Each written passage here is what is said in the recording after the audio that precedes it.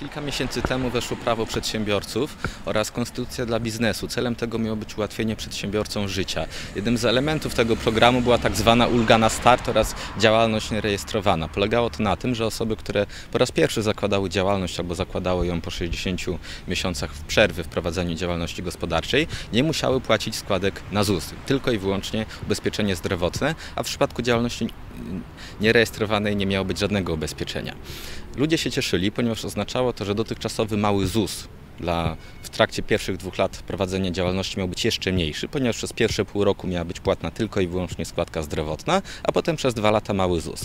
W praktyce sprowadzało się do, do tego, że przez pierwsze pół roku młodzi przedsiębiorcy mieli płacić składkę niższą o 184 zł miesięcznie.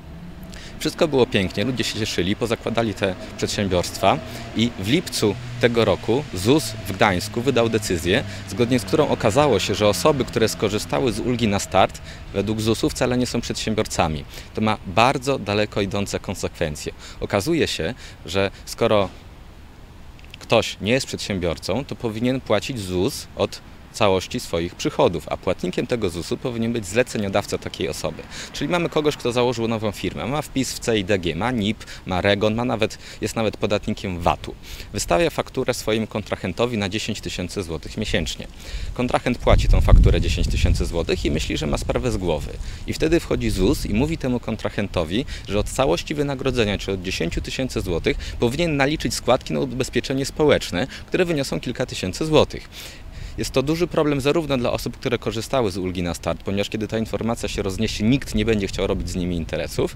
Jest to jeszcze większy problem dla pozostałych przedsiębiorców, ponieważ nie są oni w stanie sprawdzić, czy ich kontrahent skorzystał z ulgi na start, czy nie, ponieważ tej informacji nie ma w żadnym publicznym rejestrze. Czyli przedsiębiorca sprawdza swojego kontrahenta, widzi, że ma NIP, widzi, że ma REGON, widzi, że jest czynnym podatnikiem VAT-u. Robi wszystko, co może, ale i tak nie jest w stanie się dowiedzieć, czy za 3 albo 4 albo za 5 lat nie przyjdzie do niego kontrola ZUS-u i nie każe mu zapłacić składek na ubezpieczenie społeczne od wszystkich faktur, które otrzymał od e, swojego zleceniobiorcy, który skorzystał z ulgi na start.